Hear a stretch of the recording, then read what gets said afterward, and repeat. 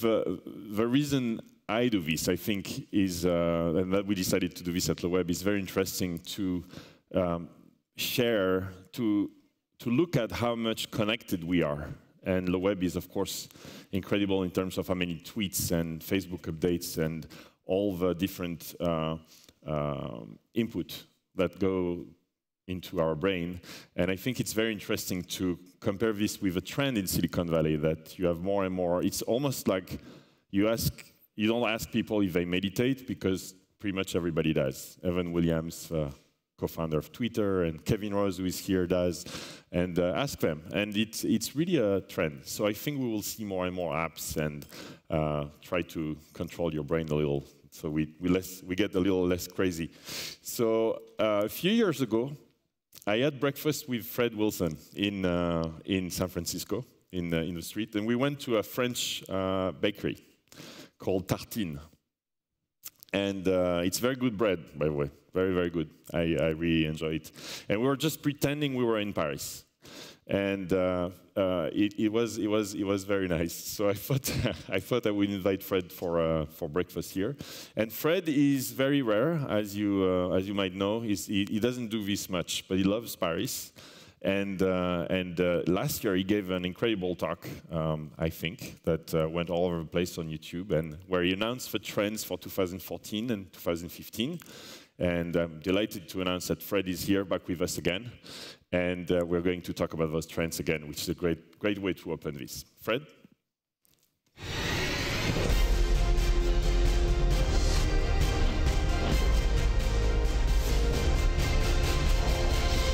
Bonjour Fred.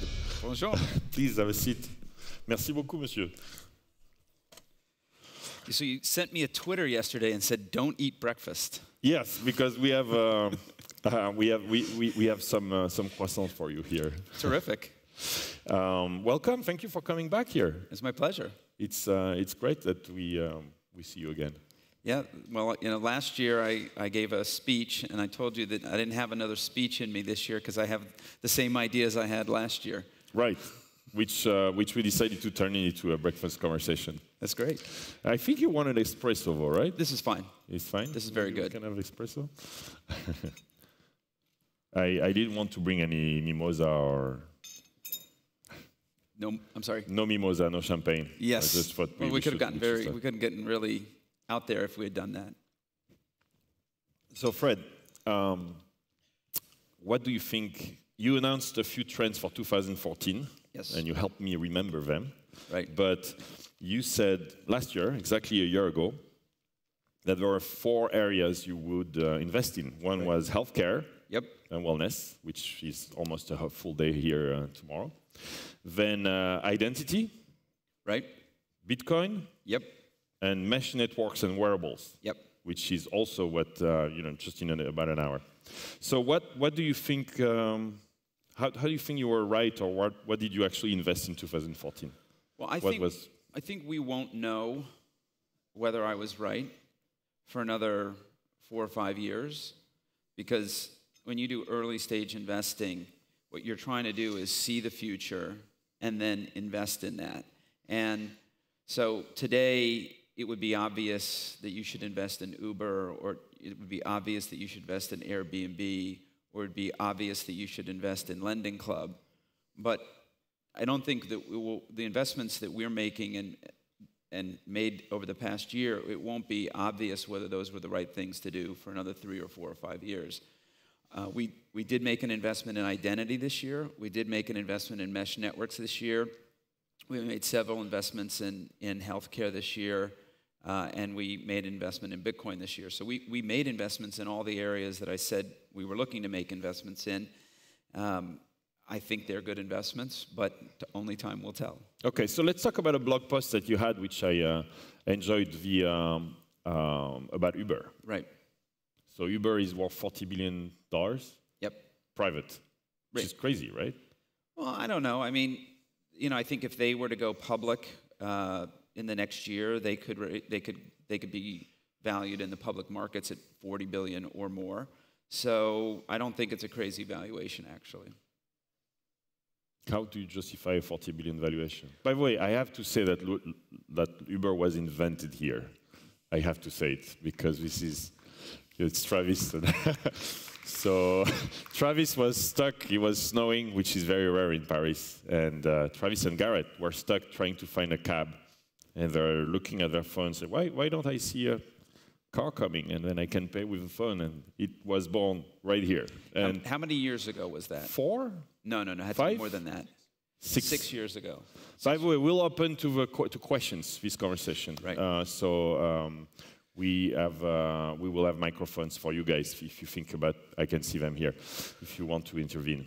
So, so do you want me to answer the question yes, on Uber? Please. Okay. So I this is all based on public information. I, I don't have any access to any private numbers. I read in the Business Insider, which is a reputable publication, that Uber intends to have 10 billion of annual gross run rate um, volume by the end of next year. So if they take 20 to 25 percent of that, then their revenues are going to be 200 to 250 million uh, run rate by the end of next year. And if you look at Lending Club, which is a company you and I are both investors in, going public this week, um, they're going to go public at about a five or six billion dollar valuation uh, on revenues of, um, uh, uh, let's see, uh, just trying to do the math. Revenues of Lending Club? Yeah. Five or six billion. No, that, that's that, the loans. That's the gross. Right. But they have a 5% take rate. Right. So um, that's about 250 million.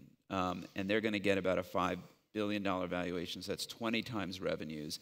And if Uber is doing 200 million to 250 million of revenues, 20 times that number is 40 billion to 50 billion. So I, I kind of figure that if Uber wanted to go public right now, they could access the public markets at about that price. So you're saying 20 times revenue is normal valuation? No, I don't think it's a normal valuation. I think it's the kind of valuation that the very best companies can attain in that magical moment when they go public. And I don't think that they will sustain that. I think that if Uber grows at 50 to 100% a year over the next three or four years, you know, their revenue multiple will come down to 15, 10, 5, maybe at some point.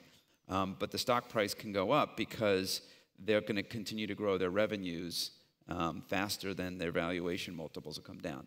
So I, I think the valuation's not crazy. I think it's, um, it's obviously a very large number, um, and they've attained that in six years. They invented it here six years ago, and today they're worth 40 billion. I think that's incredible. Someone here in the room could create a They will. $40 billion. They will. Some, company. somebody will. There's no question about it. I just hope it's the right person. right. And Fred has his checkbook on, on his pocket. You actually invested in a few companies in at the web. Another big success is SoundCloud. Yeah, we found SoundCloud here in probably around the same year that that uh, that, that Garrett and Travis invented Uber. It was, it was, I think 2007 or 2008. Alex Ljung is um, um, he was he was here Yep, and uh, came and found you. right. And That's you- exactly right. And you gave him your his first check, right? Well, not here though. I waited a couple years to say yes, but yes, it's true. I met him here uh, in Paris uh, six or seven years ago. But back to Uber. So 20 times revenue. Let's talk about valuations then, then a little more about Uber. But in Right. general, the market has become a little crazy, you think? Is that is there do we have a bubble? particularly around the most exciting companies, the breakout companies that everybody imagines will be the next Amazons and, and Googles and, and, um, and Facebooks, right? And so that's what investors want to invest in. I think what they've realized with web and mobile is that the breakout companies end up capturing very large percentages of their markets. Um, if you look at social networking, for example, Facebook has 70 or 80% of the social networking market, right? Twitter has a piece of it, and then it tails off pretty quickly. Um, same thing's true in search. Um, and so investors are saying that Uber is going to capture the majority of the mobile transportation market. Um, and, and so they get this valuation because um, people have seen this movie again and again and again. And if you invest in the breakout companies, the, the biggest of the biggest winners, you get rewarded for doing that. So for you, there is one winner. that kind of takes most of it. Well, we have Lyft a little later. Do you think Lyft stands any chance? Well, they could be the Twitter. If, if you look at um, if you look at uh, social networking, you say Facebook took 60, 70 percent of that market. Twitter took 20 percent of that market, whatever it is, uh, and Twitter's worth uh, 30 billion dollars, right? So, you know, you could say that Lyft will be to Uber what Twitter is to Facebook. Um, and you know, I've written on my blog that I don't think that uh, mobile transportation is truly a winner takes all market. Although I might be wrong about that. You know, given how well Uber is executing, um, you know, it, they certainly look like they're taking the ma majority of the market share right now. What do you you posted about the culture and yeah. the word of mouth? And Travis and Garrett are friends, so right. I, I'll I'll get into that territory like carefully, but this counterculture that goes like there was like Uber was banned yesterday in India yeah. or in a city. In, in um, I, I, well, they had a very bad thing happen to them in India. There was a rape. Yeah. Um, and uh, and there, there was kind of like, you know, not, not really great word of mouth sometimes. What, what do you think about this? You posted about this. Well, I, what I said is that when I think about Uber as a company, I think of incredible almost ruthless execution um, combined with a, a swagger and an arrogance um, that is really unlike almost anything I've ever seen. And I think that they've been linked. In other words, their ability to execute in the way they've been able to execute comes in some ways from that arrogance and that swagger. I think as they grow into a mature company that someday you know, can be a public company, I do think they need to figure out how to, um, to become a more mature um, company that doesn't necessarily have um, the, the negative side effects that come from that culture. But don't you think that it's inherent of their business that they have to disrupt? We, I think Friday in this country, uh, we will know if Uber is still able to operate or not. So right. in many countries, they're banned in a few cities, right? Or countries even. So early but on. But they have to. Well, early on, they took the approach that they were going to beg for forgiveness instead of asking for permission. And that's the best strategy when you're an entrepreneur getting into the market because if you ask for permission, everybody will say no and you won't get into the market. So they took the attitude we're going to get into the market, we're going to take share, we're going to make people's lives better, and then the regulators aren't going to be able to shut us down. And that was a very good strategy. At some point, that strategy stops working. They need to, I think, if they're going to be a big global company, they need to actually figure out a way to work with the system and not always just take the attitude, but, screw the system. But how? Because the cabs are like, so I have to say, yesterday night I thought about Uber because I, I took a cab and the guy tells me I don't have change. And so, so first he tells me he was, I was going too uh, uh, near too close. The distance was not long enough. So the, the fee wasn't high enough for him. Right. Which is a classic in Paris. you take if you take a 10 euro course, it's, it's too short, like or you know.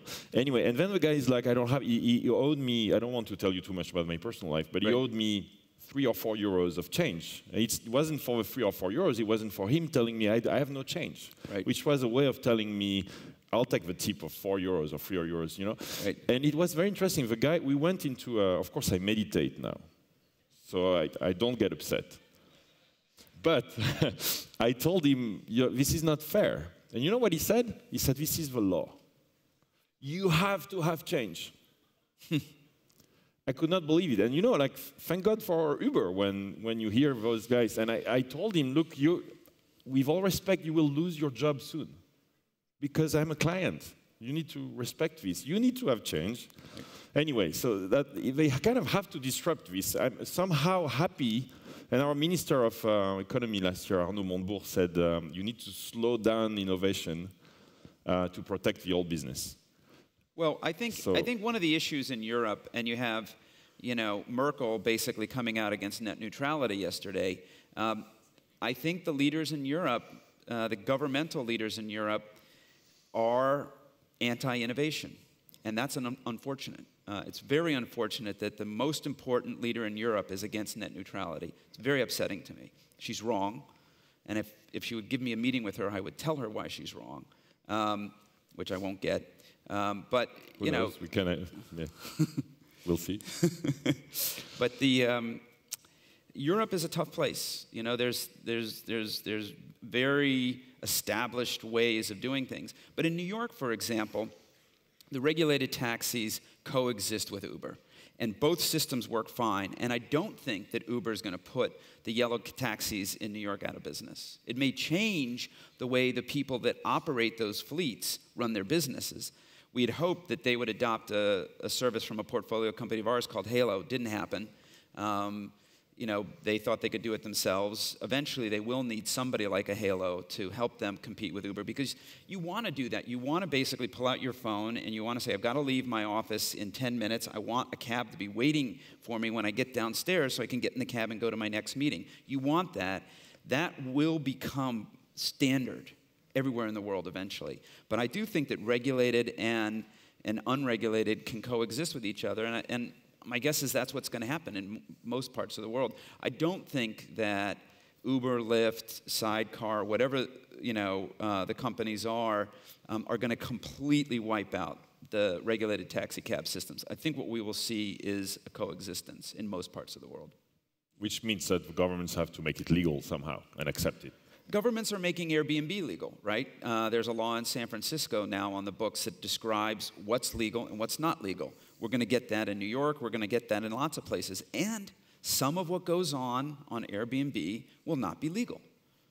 People don't want, uh, people in many apartment buildings in New York, people don't want the apartment next to theirs being rented out to strangers every night. And you can understand that, right? It's like, in most leases now. It says it in right. the lease. When you sign the lease, right. it says you can't Airbnb. Right. You, look, there's a dark underside of the sharing economy, which is not everybody likes the sharing economy. It's good for some people, it's not good for others. There are going to be laws about this. So, no bubble. Well, it depends on what a bubble is. Right now, the financial markets love internet, mobile, tech. Uh, and they're putting valuations like 20 times revenues on companies. That, that, that won't be the case forever. So, does that mean that these prices come down? Maybe. Is that a bubble? Maybe. Um, when I think of bubble, I think of these catastrophic uh, blowups, like what happened with internet in 2000, uh, what happened with real estate yep. in 2007, 2008. I don't think we're headed for that kind of a that catastrophic. That will not happen. I don't think so. I think we might see the valuation environment change a lot, but but not in a way that you know two thirds of the companies go out of business. I agree. So we talked about. So let's talk about wearables yep. which you said you, you, described it as mesh networks and wearables. Well, the, the uh, Benedict Evans, who works for Andreessen Horowitz, um, calls wearables your personal mesh. All the devices that you own and, and have in your life that are connected via Bluetooth or other wireless technologies to your smartphone and everything else, and you have this mesh around you or on you now that's collecting data or collecting data about you or providing data to you or whatever. To me, that's a very exciting vision. I like thinking of it that way. I don't necessarily like thinking of it as wearables because, for example, I met the founders of Withings. Is that how you say it, Withings? Yes, Cedric uh, is here. Yeah. Uh, uh, out in, in, in, in the uh, yeah, uh, got me one of those backstage, and um, and they have this device called an Aura, which is a little um, pad that you put under your mattress, and it connects to an alarm clock. And so as you move at night, as you sleep, your movements are an indication. That's when you have sex? Well, you, you, that's a whole other thing. That's, that's, that's a second device that you have to buy. It's an upsell to the first oh. device. Oh, you mean when you sleep?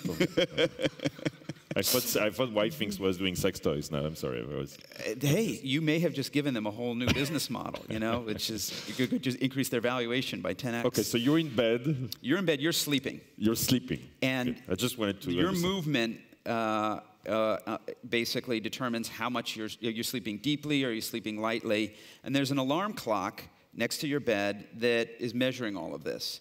You're not wearing anything. And, and a lot of the sleep measurement devices until now have required you to wear something. And most people don't want to wear something when they're sleeping. So this is an example of what I think of as your personal mesh um, to capture data about yourself that doesn't require you to wear something. I just think that's exciting.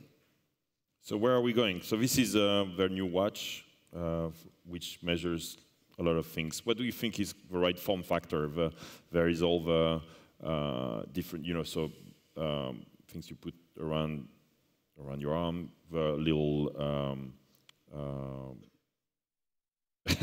there are different devices. Right. I'm going I think I, I, don't think there's a right form factor. Yeah. That's that's the. Think that's, watch is a good one? If you like to wear a watch, I don't wear a watch. Um, you wear a watch. Yep. And by the way, I think it would be better if this watch ran iOS or Android L than having to buy this watch. Nothing wrong with this watch. It's a beautiful watch, but I like your wa- I like this watch better. Yep. So it would be better if you could just put software on this watch instead of having to wear a watch that you don't like as much. Um, I don't like to wear a watch, so I'm going to want to have a device on me that captures a lot of that information without having to put it on my wrist. So you don't think the Apple Watch will be a success? No, I didn't say that. I didn't say that. I just don't think there's going to be one device that's going to be the winner, like that everybody's, you know, because everybody basically is carrying a smartphone now. So I think what we're thinking is. Right, okay, there's a lot in there now. What? Like, uh, that is captured right. by the smartphone itself but. We all, we all have a device that looks a lot like this on us. I don't know that all of us are going to have a device like this on and us. They get bigger too, right? I mean, I have a big, you don't, but yeah, well, they're getting bigger because of these other devices, right? You don't need now to pull that out every time that you want to access it. So now they can optimize the form factor for the things that you do want to use that for, reading and things like that. But you know, getting a text message now, you can just get it on your watch or making a phone call. I have this, uh, which is a um, is a Bluetooth uh, thing, and I just normally wear it like this. And when a phone call comes in, um, instead of pulling out my phone, I just do this and answer the phone here. I've never, my, my phone stays in my pocket. I don't, I don't have to pull out my phone. So and, that's the new version of. Uh, well, eventually we, are going to get there. In fact, we already have that. That's already coming. Um, Motorola has a little in-ear device um, that. Um, uh, that you won't even see anymore. Well, I think you see it. Eventually, it's going to be like the movie um, Her. Her. Right. Yeah, you Where just talk. Gonna, yeah, you're just there's a talking. little. Yeah. I totally see that. Do you think we'll talk to a computer? Voice and uh, artificial intelligence? Yeah, you know, we already do a little bit in our cars. It's still kind of clunky. It's totally clunky. But I, I think that's just better UI, better UX, better software, better uh, artificial intelligence. Actually, knowing when it might be better if the car asked you a question, which is, uh, hey, hey, we're coming up to an intersection. You know, do you want to go left or right? And you say left right? You know, maybe it's better instead of me saying, hey, go left. Uh, I think, by the way, driverless cars is coming much more quickly than anybody realizes. How, how, how many years for driverless cars to be more popular, more widespread? I think it's a human behavior question, not a technology question. I think we could have driverless cars in, within five years if people wanted it. Five years? I think we could have it in five years if people wanted you it. You will trust it? Did you try one? I've never been in a driverless car. I think, I wrote a blog post about this. I think that uh, uh, the evolutionary approach, which is giving us little bits of it along the way to get us all the way there, is a better approach than asking us to go all the way there. So, for example, if we start telling our car to park itself, or we start telling our car to change lanes, or we start telling our car to slow down, or we start telling our car to speed up, and, it, and, and, and the car actually executes the maneuver for us, that will get us humans more comfortable with the cars actually doing the hard things. And eventually, we'll just trust the cars to do everything. I think asking a human being to just sit in the back seat of a car and let the car drive you somewhere, just full stop, brand new experience, is going to be tough for most I people. I can't wait for that. I can't wait either. I hate driving. It's yeah, and it's it, in traffic, especially like here in Paris, yeah. you just don't want to drive, right? Definitely not. So this is coming five years Mainstream? No, not mainstream, right? No, but I think the enough. human. I think that the behavior problems are challenging, and the other problem is what's it going to be like on the roads when half the people, half the cars are being driven by humans, and half the cars are being driven by machines. Yep. If all the cars were being driven by machines, the machines would all act very rationally, and there wouldn't be too many problems. But I think it's hard to train a machine to to, to deal with irrational behavior, and humans are irrational, so that's going to be a, a funky period. Maybe we're going to need to have different lanes. We'll have lanes for humans and we'll have lanes for machines. By the way, it's probably not, not that's probably what's going to happen. Absolutely. Yeah, we'll. It's like your airplanes and your drones. You got to keep the airplanes away from the drones, right? Yeah, we were talking about this just before coming on stage. You have um, an FAA regulation that makes, um, or they're trying to do it, I'm not sure exactly, that makes you need a pilot license to fly a drone.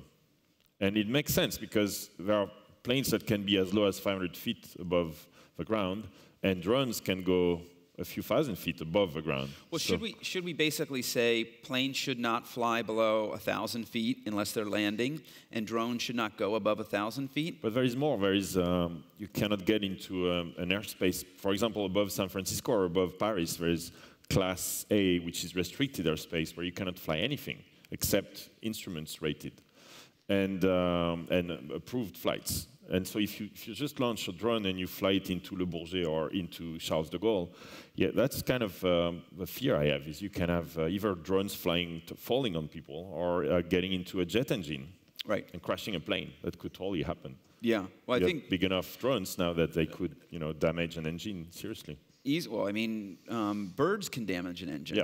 right? This so it's not going to take much of a drone. Um, that, that, happened uh, this week. It was in the news that a plane almost hit a drone coming into somewhere. I don't remember where, but yeah, these are the things, by the way, that we got to figure out, right? Yep. we can create the drones, we can create the self-driving cars, we can create all these technologies, the the wearables and all that. But we the, but we we have to also understand how all this impacts people and society and current behavior. Electric cars, um, they're of course, Tesla is doing an amazing job. And so, what, what do you see? Do you think this is going to be mainstream? How yes, many years? Five absolutely. years? I drive an electric car now uh, in New York City, which is which is tricky because um, where are you going to charge a car, right? So it's taken a while for the parking garages in New York City to have uh, charging stations, but that's starting to happen now. And there are no gas stations in, in south of 34th Street in New York City. There might be two or three gas stations. That's it right? It used to be, you know, 20. Now there's three. There's going to be zero. So we got to get to electric cars quickly in New York City with charging stations in all the parking garages and probably even on the streets in certain places. Uh, and that's going to happen pretty quickly. You know, the thing that's great about Tesla is Tesla has forced all the other car makers to accelerate their electric car plans. I think these car makers didn't think anybody would want an electric car. The massive success of Tesla has now forced them all to scramble and try to get electric cars on the market. And I think we're going to have electric cars from most of the major car manufacturers within the next three or four years. Charging stations are proliferating. How, what percentage? Give me a percentage. Five years, how many electric cars do we see in the streets? In, in, in what country? US, your country. 20% in the US. How about in France, we think? I don't know enough about yeah. the French market. Um, 20% in the US within five years. Wow. I think so. That's major. I think so. We got to get them. We got to. The cars have got to come down in price, and we've got to get. Char- we got to get charging stations to become, uh, you know, all over the place. And those two things is probably all it's going to take. You know, there's a lot of cool things. I read an article the other day that Tesla's battery technology is not going to just stay in cars their battery, their technology for batteries is moving so fast that they're going to start making batteries for the utility industry to store power. They're going to start making batteries for people to store power in their own homes. So people who have solar panels on their roof will now, instead of either using the power or selling the power back to the utility, will be able to store the power. And then you'll be able to charge your car off of a battery that was fully charged by your solar power. So th this middle step between acquiring the energy um, and consuming the energy, which is storing the energy, that's a big piece of technology that has moved very slowly over the past couple decades, and I think we're going to start to see that accelerate. Healthcare, you quoted that as one of the top right. trends of 2014. Yep. You still see it as a. Absolutely. We see it everywhere. Healthcare is such an interesting sector. It's being, you know, impacted from all these directions at the same time. One of it is wearables, yep. right?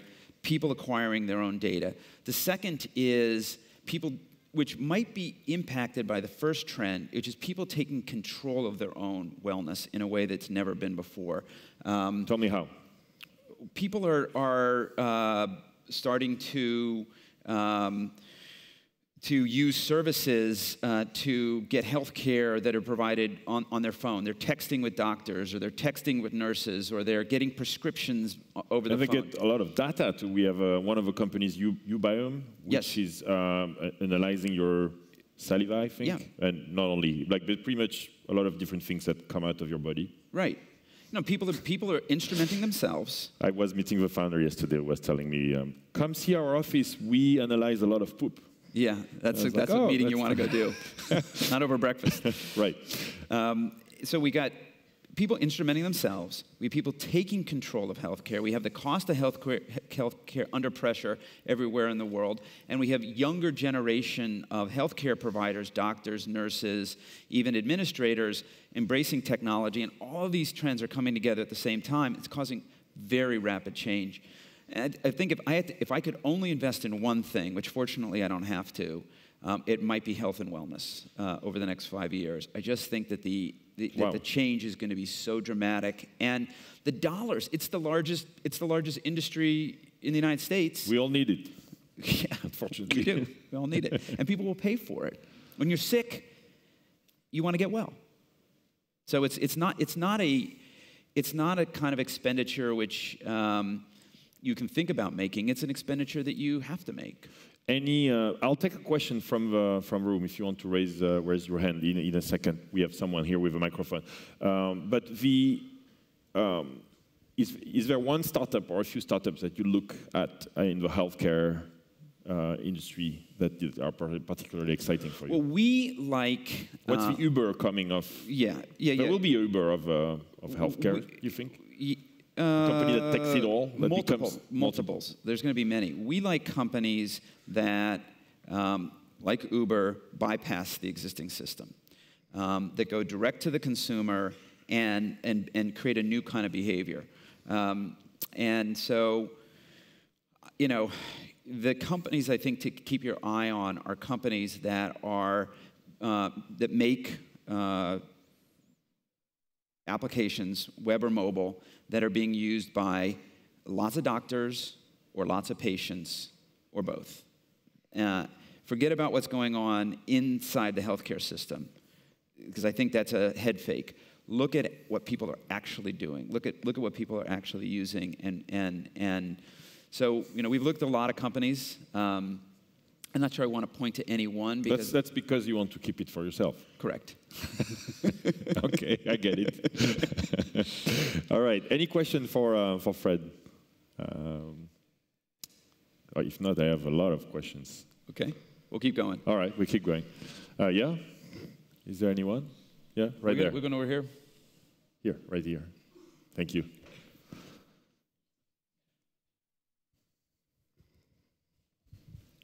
Yes.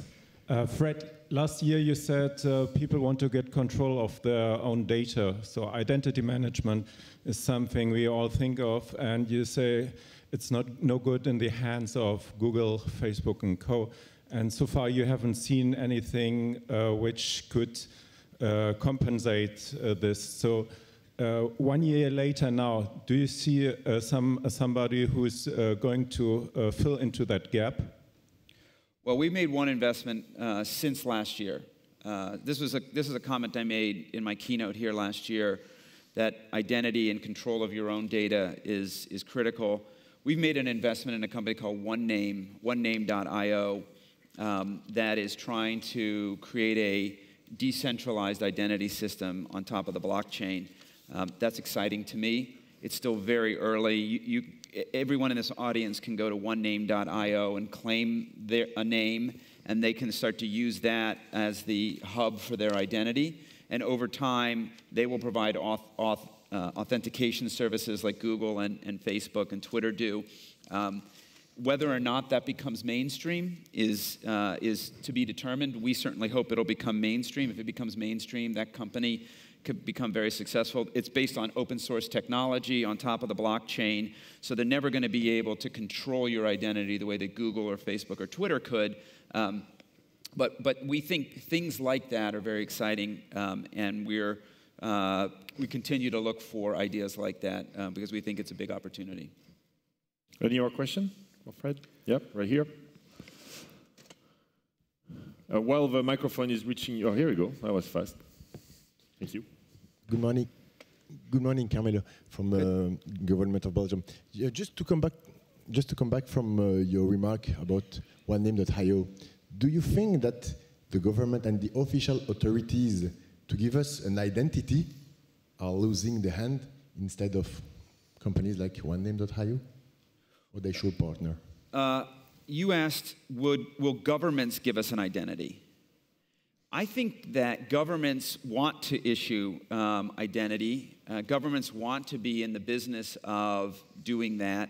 Um, I think that governments could play a very important role in uh, creating a market for identity that we control.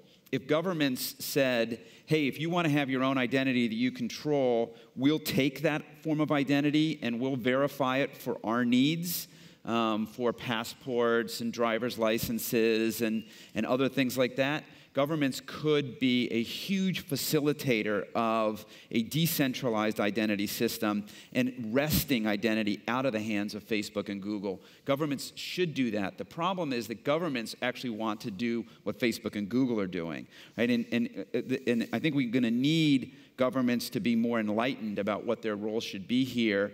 Um, that's one of the reasons I spend maybe 15 or 20 percent of my time talking to uh, elected officials uh, and That regulators. Well- I do, um, partly because uh, I think it's really important, um, and it's important all around the world, which is why I would love an opportunity to go tell uh, Prime Minister Merkel why her um, net neutrality policy is, is, is boneheaded and wrong. Um, but uh, you, have to, you have to sit with these people and explain to them where the future is and what technology is doing and, and get them to think out of the box. Otherwise, they're going to just keep doing what they've always done. Bitcoin, well, the microphone, any, anyone else? Goes to uh, another question. Please raise your hand right here. Michael Wolf. Michael, Bitcoin. Well, the microphone is coming. Okay, so- uh, you talked about Bitcoin, and uh, I have to admit, this year I have not put it in the program. Right. So that, that's big. If you, if you want to say the things that happened in 2014, and there are a bunch of things that happened in 2014, uh, the sharing economy went mainstream and started to with the real world.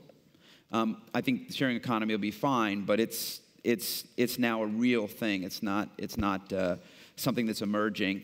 Um, uh, I think crowdfunding also has become mainstream with the uh, IPO of Lending Club, which is happening this week, being an example of that. Um, and another thing happened in 2014 is that Bitcoin went out of favor. Bitcoin was all the rage a year ago, and now nobody's talking about it.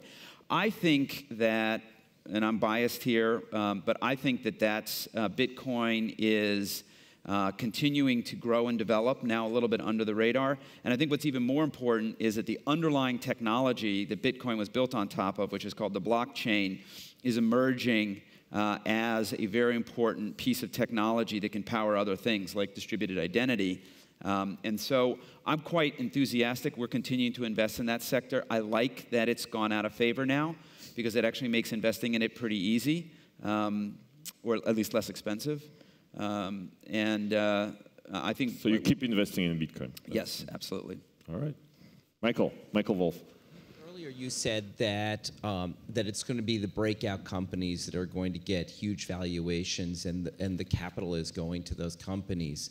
Is it going to? Is the same thing going to happen with venture capital firms? Are some of the best investments increasingly going to go to the largest firms? Are we going to see a change in no longer being able to have smaller firms participate in these larger companies?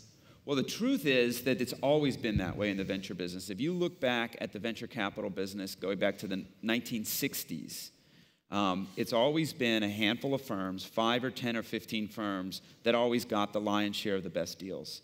It's, it's, it, it's a business where the rich get richer because entrepreneurs want to go and get capital from investors who have a track record of backing the most exciting companies because then they can say, hey, I just got this endorsement by XYZ, by Union Square Ventures, to give myself a little pat on the back, I guess. And, um, and that becomes a self fulfilling prophecy. and I'm not sure what changes that. I mean, I don't think it's actually great for. Um, I don't think it's great for the tech sector that a very small group of investors are, you know, seeing and getting access to the very best investments. Um, uh, I think geography has changed that a little bit. So now there's you know, a group of investors here in Europe who are known around the world. There's investors in China who are known around the world. There's investors um, in other parts of the world other than the United States. That, that's changed a little bit, but you know, it, it's it, it, it's it's it's a capital markets phenomena that. Um, when you go public, you hire Morgan Stanley or Goldman Sachs. It's the same phenomena. And I just don't know what's going to change that. I mean, I'd like to see it change, but I don't see it changing. Another question? We have time for, uh, for one more right here. Hi, so uh, your partner has written re recently about uh, the future of applications on top of the blockchain, and I try to follow a lot of the stuff that you guys write because it's interesting. I don't think I've seen any writing about what you're, you're thinking about the, the future of discovery in mobile which I think a lot of us in the you know in that field agree is kind of broken, including uh, Benedict Evans, which you referred to before. So I'm curious what your thoughts are on that. Well, the, the problem is that that in mobile, the gateway to applications is largely controlled by the two dominant, op dominant operating systems, Apple and Google, and they like it that way. And there haven't, except for in China, where the Android Play Store is not the dominant uh, way people get apps. Uh, uh, someone told me there's like literally thousands of app stores in China, um, or at least hundreds. Um, so I don't know how we can get to that world everywhere else. But if we could get to that world, then I think you could build things like Google and, and other things on top of the app ecosystem that would make discovery, would make search and discovery work a lot better. But I think this duopoly that we've got and this very tight control of the mobile operating system market just doesn't lend itself very well to a vibrant uh, discovery ecosystem. And, and I actually don't have a, any bright ideas on how that's going to change. Fred, we're running out of time, but uh, can you just uh, can we have some like um, can you share with us your vision of 2015? So we talked about you, you said no, I'm not doing this talk again. It's going to be the same. So go on and watch it. It's pretty much the same. Uh, Even Bitcoin, which I'm impressed, you're saying, no, no, I keep investing there. So, what are your predictions for 2015? I think health and wellness, um, we will start to see the Ubers and Airbnbs emerge in the health and wellness space in 2015. I'm not going to tell you who they are, but I hope they're in our portfolio. Um, that's one. Second thing I would say is um, we will start to see um, uh, more of these companies go public. I'm not saying that Uber will go public or Airbnb will go public, but I think we will start to see. Um, there was this wave of social media IPOs. Um, I think we'll see the wave of crowdfunding and, and sharing economy IPOs. That'll be something I think we'll see a lot next year. Uh, and, you know, I think in wearables, uh, I think we're going to see some people stub their toes. Uh, I'm not, not saying that Apple will stub their toes, but I'm, I'm not convinced that the watch is going to be the same kind of hit that the iPad and the iPhone and the iPod were. Um, and if the watch ends up being just kind of a so so thing, um, then that, that'll be a telling thing. I'm not saying that wearables isn't going to happen, but I do think wearables is going to be an ecosystem of devices as opposed to any one dominant device. And then we'll see that happen in 2015 as well. Any company that you missed, you really wish you would have invested apart from Uber, apparently, but uh, I'm sure there are many. That will uh, become big in 2015. Um, you were excited with Lending Club. You invested in it, but I'm trying to think of a company that you know I really wish we were investors in. Um, well, you know, Airbnb. I've written about that many times. Uh, we passed on it. It was a mistake. You passed on it. Yeah, um, and uh, I wrote a blog post about it, and it's, it's pretty well known. We talk about entrepreneurs making mistakes, but VCs admitting, admitting their mistakes on stage. Well, you know, there's a really funny conversation on Twitter the other day where somebody said VCs never talk about their failed investments, the companies they invest in that go bad. And some, and, and some VC replied and he said, Those aren't the painful ones. The painful ones are the ones you pass on that go on to be worth massive amounts of money. Because the reality is, if the mistake is I invest in company X and I invest 5 million in company X and it blows up, I've lost $5 million. But if I had the opportunity to buy 20% of a company that becomes worth 40 billion, that's a much bigger mistake. So the mistakes that are the most painful in the venture business are the mistakes we make by passing on great companies. Okay, so that's what hurts. So tell us what are your biggest mistakes? Airbnb. Did you did you have a chance to invest in Uber and you passed? Mm-hmm. You did. Yeah. That must hurt. I've told you these are the, these are the, these are the things that hurt. Thank you. Thank you.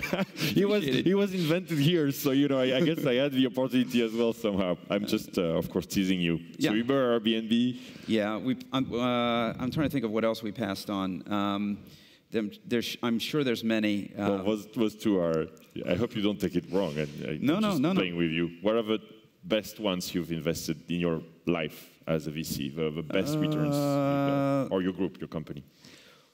Well, you know, I would say uh, Twitter, Kickstarter, Etsy, um, you know, would be three that that you know are near and dear to my heart because of the kinds of networks that they are. They're peer-produced, people-powered networks, um, and they truly are peer networks.